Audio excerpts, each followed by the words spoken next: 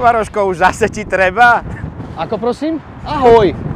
už ti zase treba? No, ak myslíš čúrať, tak áno, treba. Ak myslíš tankovať, tak nie, netreba. Ja som prišiel kúpiť plyn do krbu, lebo do tohto plyn a benzín som kupoval naposledy pred, prosím ťa, dvoma týždňami. Ja som sa len prišiel pozrieť na pumpu, ako to tu vyzerá s tými cenami a pozerám, že teda ide to od 9 k 5. Aj keď, chvála Bohu, LPG stále stojí polovicu ano, ako benzín alebo nafta. Už nie 0,7 pozerám, tak ale no, furt to je polovica. Počúvaj, však ja som už urobil 1000 km, ešte stále nemusím tankovať, lebo ešte stále tam mám 300 dojazd.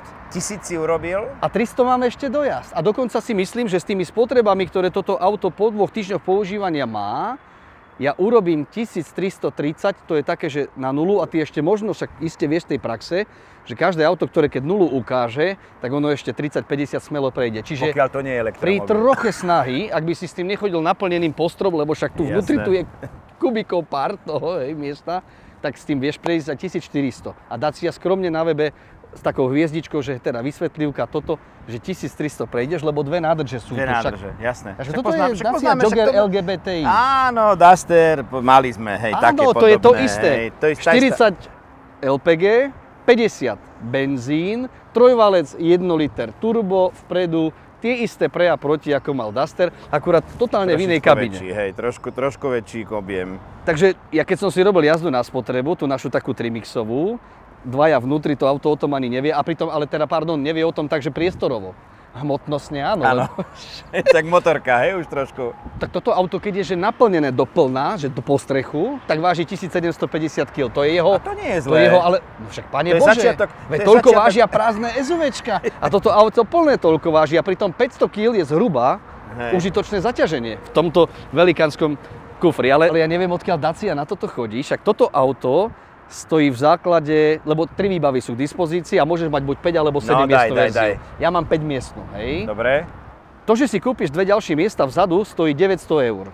Pre každú výbavu. Dve sedačky dozadu Dobre. 900. Dobre.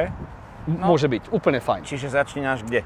14500 je úplne že základná verzia. Táto konkrétna moja je verzia Comfort, čiže to je stredná výbava, úplne v poriadku. To ti potom ukážem vnútri, to si nevidel naozaj, že... E, vieš, čo je kľúčové na tomto aute? Nie, že tu nie sú veci, ktoré by som chcel, lebo tak áno, však není to nejaká Jasné. plná výbava, ale čo je kľúčové? Tu nie sú veci, ktoré nechcem. Rozumieš mi? Toto auto ti nebude sklúbať volantom Jasné. na cestách, na. Chápem. Toto ti nebude nadávať Chápem. do jazdenia, že daj si kávu, starý môj, Jasné. uchrapaný si. Sp- Nič. Tu sú veci, ktoré len treba. Čiže stredná výbava 16 350 Pekne. a vrchol stojí 17 200. Môžeš dokombinovať ešte do, do to, ale prosím ťa, nech robíš, čo robíš, nevie stať viac ako 19 a 19,5. Toto velikánske 7-miestné auto. A teraz ešte som ti hovoril ceny, však my dvaja, Ičo, podnikatelia, ja, rozumieš ma, jasné, že to kúpiš bez DPH. Jasné. 20% dolu, takže znova tie ceny, hej, pre všetkých, ktorí teda trošku živnostníčia a tak ďalej. Uh, 11 700. Alebo 13, verzia Comfort za 13 tisíc. Tak ber flašu do grillu, prosím ťa, aby sme nezabudli, kvôli čomu si prišiel. Tak, a idem na to vecku, čo sa mi veľmi chcelo. Dnes sa ojazdené auta kupujú z gauča. Chceš to vidieť? Carvágo. Vyberiete online, preveríme, dovezieme.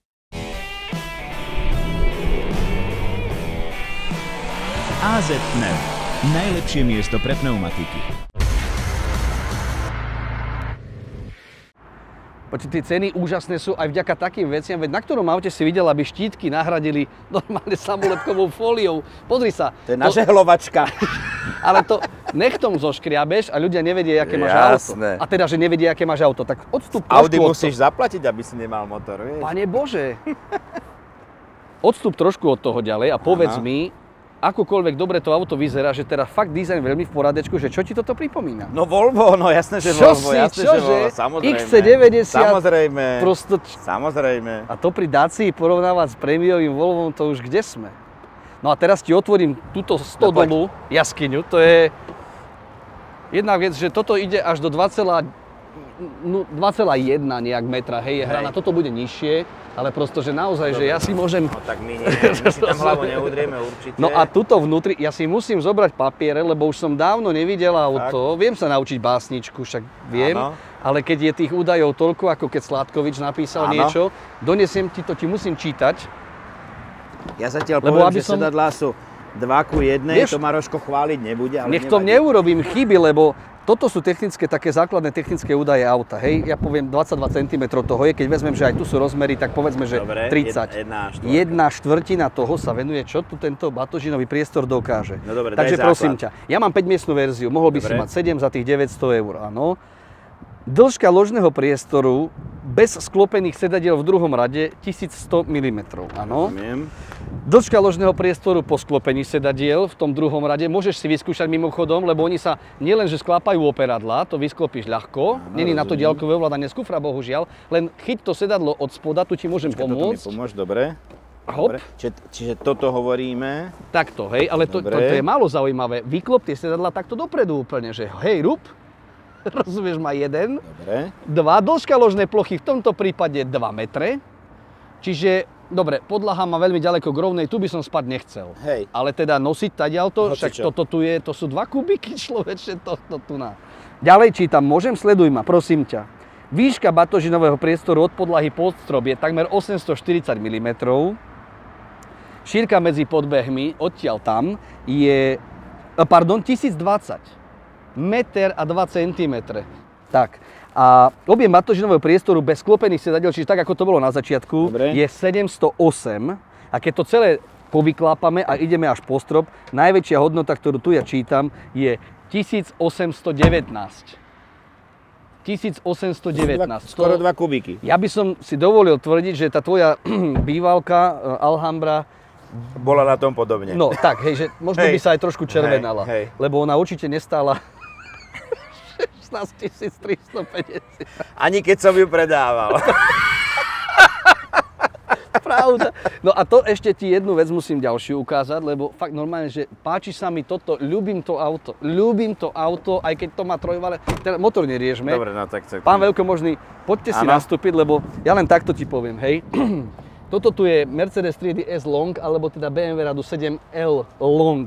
Takéto dvere, takže nech sa ti páči, Ó. nastup si. Ja som medzičasom už poprosil, aby nastavil vodič sedačku, teda náš kameraman na tých 1850 mm, ktoré on má, čiže 185 cm. Tak. A hneď sa porozprávame o tom, ako sa ti sedí teraz. No, pravdu povedec, akože miesta tu mám úplne že dosť na nohy. Dokonca mám rád, že sú vysoko sedadla, že si tam môžem tie nohy aj zastrčiť. No počkaj, nie sú ma- vysoko, najnižšie Nič ma neobmedzuje. Ja ho teda len pre istotu, nižšie už nejde. No, je čiže, čiže možné. je vysoko aj v Hej, len aby najnižšej ľudia nám polohe. rozumeli, že teda nebolo v najvyššej, je v najnižšej polohe Aj a v najnižšej polohe je vysoko. A teda je sedadlo na kameramana Nie- 185 cm. Nie je to úplne pohodlné sedenie, No tak, lebo Bože, trošku no mám taký uhol, že chcel by som ísť viacej dozadu, ale keďže tam je iba jeden ten kotevný bod Mhm. pre to operadlo, tak nedaše. Toto ma do zadku tlačí. Áno, toto je hej, taká choroba tých aut. A to bude ľudí aj zaujímať, keď sa pozrieš, Isofix je len na vonkajších sedadlách, na strednom nie je. Ale to neznamená, že v tomto aute nemôžeš mať tri sedačky detské vedľa seba. Len tá stredná nemôže byť taká objemná Isofixová, ale Hej. mohol by tam byť kľudne taký buď podsedáčik, jak si dával pr- pod cedu Áno. ešte minulý rok, alebo by tam mohla byť taká sedačka trošku útlejšia, ale normálne bezpečná s bezpečnostným pásom. Ďalšia vec, čo sa mi veľmi páči, aj tu sú tie strešné lyžiny, alebo teda tie jak po našom tomu hovoríme, že záhradka, áno, aj keď takto som to už dlho nikoho nepočul. Len na rozdiel od super vymysleného Subaru, kde máš taký systém, že stlačíš, uvoľníš, OK. ručne to prehodíš, k tomuto potrebuješ použiť taký Torx, ktorý je tuším Hej. v kastlíku, aby si si to normálne vyšroboval, ale do kantu môžeš preložiť tie priečníky, teda pozdĺžníky v OK, tomto a prípade. nemusíš kupovať nosič strešný. Perfektné. Super. A nemáš spotrebu zvýšenú tým odporom, že to je na kant Celý stále. čas, hej. Len to prosto nejde urobiť len tak ručne, musíš tam prosto trošičku akože skrutkovať. A ty Ale si čo, tak to robíš, si objavil. to zase nerobíš každý víkend, tak No si jasné, povedzme. To len sa mi nerobíš páči, každý, že- to robíš na sezónu, či už na zimnú, alebo, alebo dobre, keď to permanentne používaš, tak chodíš pomaly, lebo nosíš hore niečo. Ale ja som objavil dierku. Tak toto je pre Daciu typická vec. Ja som hýkal pred pár rokmi, že to má Duster a ľudia mi trochu písali do debat, Hej, že to tak- Maroško, že sklápaš sedadla málo v tých testoch, jasné, veď Jasné. väčšinou sedíš predu, driftuješ. Toto už auta mávajú, ja sa skôr divím, že sú auta, ktoré to dodnes nemajú, lebo toto nestojí nič. Veď tu v podstate chýba materiál. A, a, a výduchy, výduchy tu sú E, vzadu. mm, no, dobre, veď... Alex, 16300 a bez DPH 13. A dobre? regulácia zadnej Nič, vôbec, tam máš 12 klimatizácie. V, dokonca pravdepodobne nemáš ani možnosť nabíjať si nejaké žiadne USB. Nie, tak si dáš, re... tak Musíš si dať redukciu. zase si napíšem, kúpiš si redukciu na pumpe, na OMV Ale tie vieš prečo sú také veľké? Lebo nastupuje sa dozadu cez tieto dvere. Tu preto je verzia long, hej, long dvere, lebo ty keď sa toto odklopí a vyklopí Jasné, dopredu, jasné. Aha, tak je sa jasné. dozadu nastupuje v OK. prípade 7 miestnej verzie.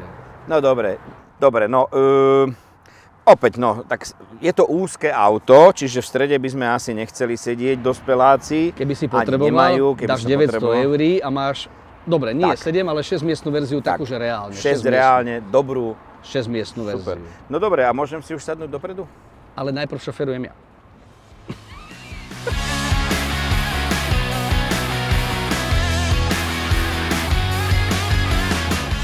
Po celý čas, čo mám auto, jazdím v režime Eco. Tu si ho zapneš, zapneš ho v pondelok, je tam do nedele. Nevadí mi ten režim.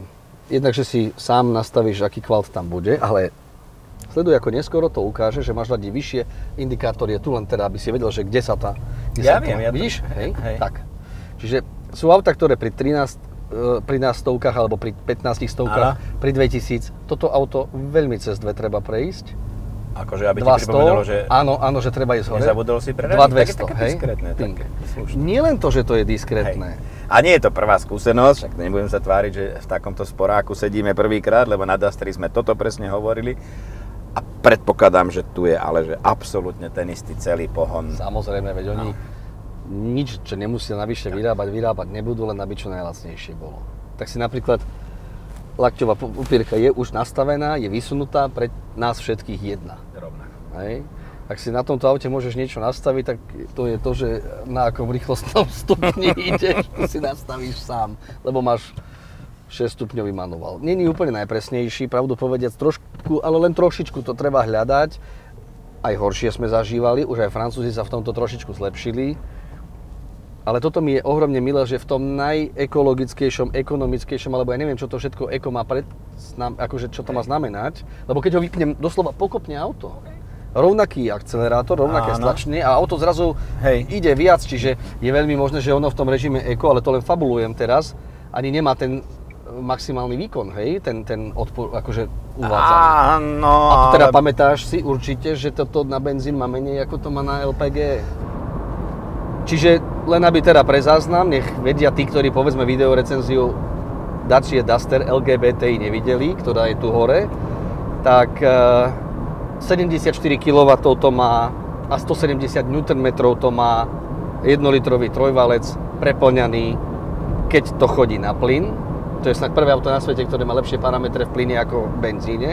A teda benzínové to je so 67 kW, alias 90 koňmi a 160 Nm, keď teda pomíňaš to drahé palivo. Nádrž je 50 litrová pre benzín a 40 litrová pre plyn. A teraz sa dostávame k tým kľúčovým veciam. Ako je možné na tomto aute najazdiť 1300 km? No to mi nejde úplne do hlavy, lebo No ja ti to poviem, lebo ja som si to aj celé vyrátal, No. aj to žijem, ja to zažívam, ja som na čerpačke nebol naozaj 2 týždne. A to aj tak jazdím intenzívne, lebo som povedzme robil viac než 100-120 km denne. Hej.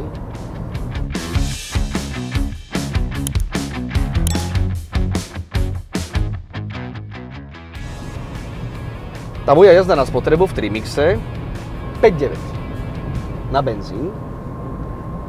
VLTP uvádza, že 6,1 až 6,3 by malo byť. dobre. Čiže nehovorím, že historicky, ale po veľmi, veľmi dlhej dobe. Mhm.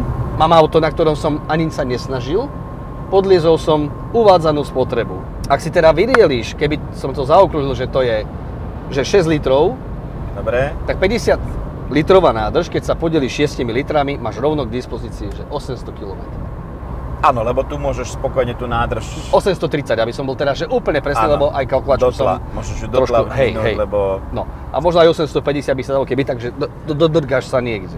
A teraz potrebuješ o 2,3 litra plynu na tú istú trasu, na to isté zaťaženie, to isté všetko. Len v inej hodine toho istého dňa som to šiel a tam za 8,1. Mhm. Čiže 2,2, 2,3 litra rozdiel bol, áno.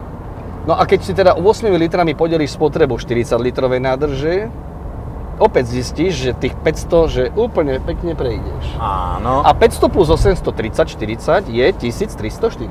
Mimochodom, nebrzdené tu neuvádzajú až na úroveň tých 750, čo väčšina aut má. Ale je to tak zhruba, že o tých 70 až 100 kg menej. Čiže nejaké 670 kg nebrzdené vozíky za toto auto môžu. Prosím ťa, lebo toto auto, keď je úplne prázdne, len s vodičom na palube, váži taký medián si dajme, 1330 kg s vodičom na palube, čiže bez vodiča 1250 môže 5-metrové auto dnes vážiť neskutočné. Až by sa zdalo, že teda ten výkon však stačiť bude. Nie nadarmo sme na diálnici, lebo skúšal som si aj s autom, že naplneným a podobne. Veď my už len keď sme chceli zmerať, že hlučnosť pri 130 tak skôr než ti poviem tú hodnotu, tak už som dávno tak dlho na 130 nečakal. 2800 otáčok, nie je to úplne že malé číslo, ale ja to rešpektujem vzhľadom na to, že teda nie je tu veľa výkonu, tak tu musia byť aspoň otáčky, aby Určite. to vládalo. No ale tým súvisí s tým aj trošičku tá hlučnosť, že trojvalček je vždy viac počuť ako štvorvalček.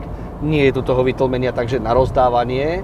A jedno s druhým, s tretím 68,5, takmer 69 decibeli tu je. Čo je, že hlučné auto. Ale ja to auto doslova, že, že obdivujem. To nechcem, že preháňať to tak, že, že ľúbim a tak, ale ja ho veľmi obdivujem úplne úprimne. A ty, keď si tu nastúpil, tak však si mi také výseče robil, hej, že keby si si všetko kartónom poprekrýval, či ako si to myslel, nie?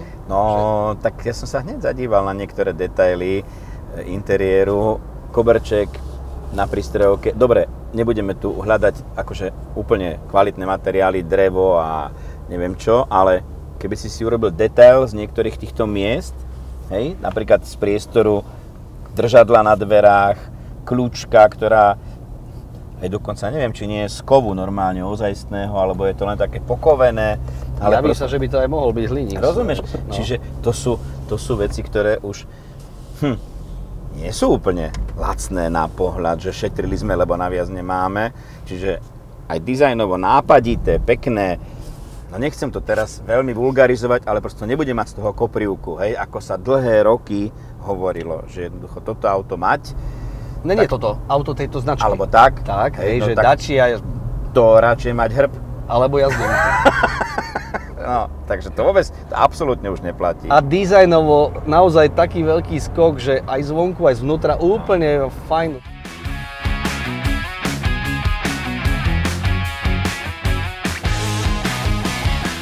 my sme na tej Dacia Duster ľudí vystrašili s hodnotami, že teda 10 a pol, 11 sme mali na diálničných presunoch cez celé Slovensko na plyne a nejakých zhruba 8,5 hej. hej, sme mali na benzíne. Ale to bolo preto vážený, lebo sme boli 80-90% toho času prejdených kilometrov vtedy Čistá diálnica. Na diálnici 140 ešte podotýkam. 130 no? plus, no. hej, no, čiže... Ale túto odprisahnem ten trimix, urobil som si a rozdiel 2,2 litra a no prosto ja žasnem. Tlačí ma koleno už, hej, od tohto tu, není to, ale ja som taký ten široko sediaci, ako ty, áno, áno, áno. tak ako ty. Takže toto ma už boli po tom viac než týždni používania tu na, ale No a dobre, teraz veci. Ľudia by chceli vedieť určite, že či sú tu všetky tie nedostatky, ktoré sme na Dusteri objavili. No tak nie sú všetky, sú niektoré. Áno, aj v tomto prípade sú tie tlejivky diaľkové, žlté, Aha, také, že áno, zapneš, či... vypneš, svieti to trochu ďalej, ale na žlto a vyzerá to hrozne. A nevidíš o nič viac zásadne. A ľudia v Dačii vedia, že to tak urobili, lebo prosto toto auto, tie ďalkové, naozaj, že nepotrebuje. Tak dobre tie ledky svietia že to auto ale napríklad nefúka to cez tie praky. Aha, áno. Tu sa to nedeje. Čo má Duster taký problém, hej, že to fúkalo na nohy. Lebo tu sú založené bedne, nie vzadu.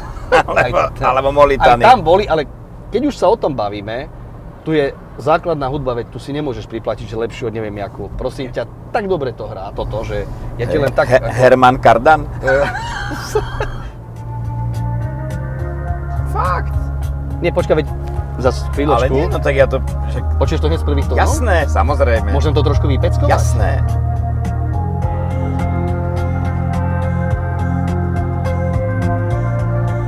Veľmi čistúčko. Ja vlastne mám veľmi málo negatív, lebo stále si musíš pripomínať tú cenu. Tak že... áno, ťažko vyčítať autu za 15, respektíve za 18 tisíc, že má málo volieb ambientného osvetlenia, hej? Ako moje obľúbené, hej. hej, ambientné osvetlenie, ktoré je u mňa že na úplne poslednom mieste. No, ale a toto ti nebude ani papulovať za to, že ty ideš takto k čiare bližšie, lebo ležeš zákrutý. Hej, to sa ti tu nestane. Toto auto ti nepovie, unavený si, starý chrápeš, daj si kávu, daj si pauzu, vyber si hotel. Dobre, nič. to sú veci... Je to pár vecí, veď do, nič, čo Európska únia od aut moderných v roku 2022 vyžaduje, tu nechýba. Jasné. Vie to sledovať aj slepý uhol, keby si chcel, je to tam. Áno, aj tlak v pneumatikách by zahlásil, keby bol Samozrejme, zlý, je to stabilizácia, hej. trakčná kontrola, Jasné. všetko, čo má byť. Ale... ale tieto opičky, ktoré auta, a hovoríme to medzi riadkami dlhodobo, fakt predražujú a no. vybíjajú sa výrobcovia, že koľko funkcií tie autá majú, ale reálne málo ktoré z nich až tak využívame a mnohé z nich vôbec nepotrebujeme. Ak teda sme stále my, tí vodiči, ktorí vedieme auto. Takže áno, ja ti rozumiem. A zišiel som zámerne dolu z diálnice na cesty, ktoré povedzme, že na mapách sú že cesty prvej triedy, ale ako hey. cesty tretej triedy.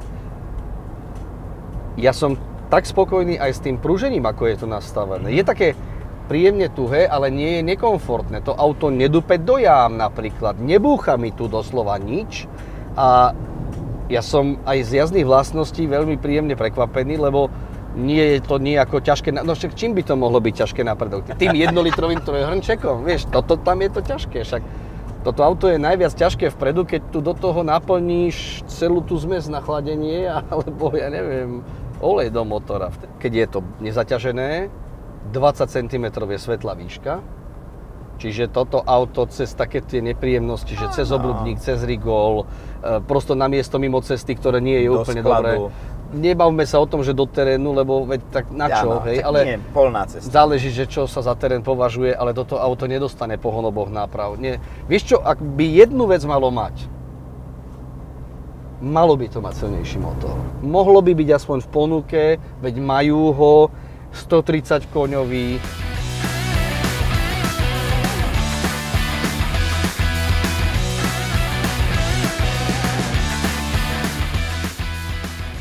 pozrieš katalóg a zistíš, máš na výber dva motory, 100 no. a 110 koní. Tak ja by som ešte bol rád, keby tam bol jeden 130-kový. Aby niekto, kto chce, aby to auto aj vládalo, aj zrýchliť 100, 120 na 140 napríklad, hej, že aj na diálnici niekoho predbehnúť, nehovoriac o tom, že to bude hore kopcom alebo s protivetrom, tak to tento motor nevie robiť. A nevie to ani tá 110 nejako zásadne lepšie, nevie to. Ale 130 koňová verzia motora, ktorý Renault má takto, že na skladoch, všade ho má, tu mohol byť k dispozícii. Nehovorím, že mal byť LGBTI. Nemal, nemusel. Ale aby bol, aby bol. Rozumieš? Aby si si vedel kúpiť ešte jeden, lebo 100 alebo 110 koňové auto, keď si kúpuješ. Jasné. To, to si kúpuješ to isté. Minimálne. Ja sa budem diviť ľuďom, keď budú kupovať toto, kto by to kúpil v inej verzii ako v LPG. Kto by, na čo by si to kupoval? 110 koňové. Ty si no, zisťoval, no, kde to je, no, to na koľko to rokov vlastne... to má záruku, prosto, no, vieš? No, už to nie je na mieste rezervy, lebo keby to tu bolo na mieste rezervy, tak ako to je v Dastri, kde to je kryté, a tam sa pôjde tá 50, takmer 50 litrová nádrž, tak preto tu je tá kvázi predchádzajúca menšia 40 litrová, lebo tá je prichytená zo spodu, pretože tak ako sme videli, jednoducho tým pádom by tam už nemohli byť Hej. buď sedadlá, alebo prosto tá rovina, aj keď tu nie je ideálna rovina, ale nemohlo by tam byť, mal by si tam vlastne Vajling, Vajling s nádržou, ktorá je zo spodu. Tak ako dnešná tá doba memečiek a týchto srandičiek, hej, tak keby bolo, že Dacia Jogger z 0 na 100, áno lebo dobre, do stovky no. to ide nejako, teraz aby sme dali serióznosť, 12,5 to trvá, keď ideš na benzín a 12,2, 12,3 to trvá, keď na plyn ideš. Čiže prosto 12,5 sekundy z 0 na 100. A maximálka nie je ďaleko od všetkých tých elektromobilov, ktoré sú dnes zaseknuté na 160, že viac nepôjdu, lebo Jasne. teda prosto potom to už fakt nedáva celé zmysel. Baterka je vybitá v priebehu pár minút 170 niečo je skutočná, čiže viem si predstaviť, že šikovným vodičom to 180 na rýchlomery teda ukáže. S vetrom. Absolútne nepodstatné parametre pre toto auto. Hej, nepodstatné, len teraz som považoval za nutné uviezť na pravú mieru. Brzdou premávky s tým to nebude. Nik, keď to nebude mať naložené až po strechu. Ak áno, budete brzdou, ale na diálnici. V meste ani nie. Ani mimo obce v princípe, lebo do tých 100 to chodí celkom fajn. Čiže ešte jednu vec, tí Francúzi absolútne neostali nič dlžní svoje povesti, že robia úplne bláznivé Čo? veci, čo sa zvukov týka. To si nevidel. Niekoľkokrát sa mi stalo tento týždeň, samozrejme, že vystúpiš z auta, máš tú kartičku, Ty kokos, to čo je? keď to urobím v tichej ulici, pri susedoch niekde, tak sa... A rozumieš ma, ty zavrieš dvere, hučí to, ja zavriem dvere, hučí to, lebo auto je naštartované a ja mám kartičku vo vrecku. Jaj. Ale môže na to byť debilnejší zvuk, však auta dajú rôzne decentne, slušne vedieť, že teda však starý môj nezabudni kľúčik máš vo vrecku, ale takto, veď e, ono to teraz je v tejto dobe celkom aktuálne, lebo keď toto počujú ľudia v Bernolákovi, v tej tichučkej Hej. ulici, kde bývam, Tak chodia na okná, idú, no tak lebo majú v tejto situácii dojem, že A to je iný zvuk. Rusko už napadlo aj Slovensko. To není klakson. Aha, to- to není to je Zavri, zavri. Za každým. Vždy. To nie, že raz to spraví to auto, to robí vždy.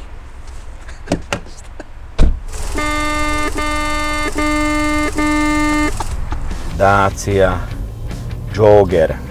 Čo myslíš, môžem si nechať žuvačku, alebo ju mám To Hej. karedete. Ale ešte sladká chvíľku. Tak daj to piče. Kúpim ti novú. Ok. Celý balík.